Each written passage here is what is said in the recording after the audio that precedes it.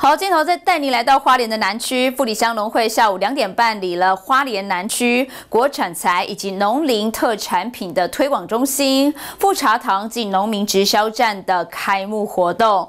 那么林务局长以各级的长官也都更相盛举。那么林务局长也表示，这里总共有三大亮点，会让人流连忘返。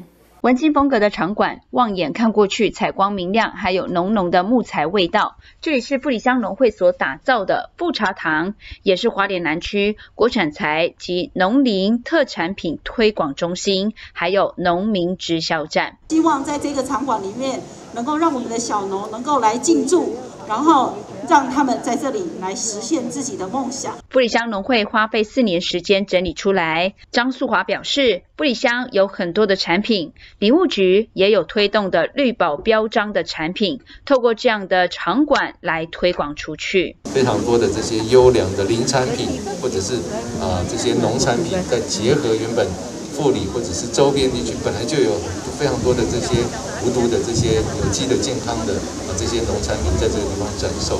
布里乡农会下午两点半办理花莲南区国产材及农林特产品推广中心富茶堂暨农民直销站的开幕活动，林务局长以及各级长官共襄盛举。林务局长也欢迎民众悉家带眷来到富茶堂逛逛，感受布里最在地的农产以及人文风情。记者高双双傅里香采访报道。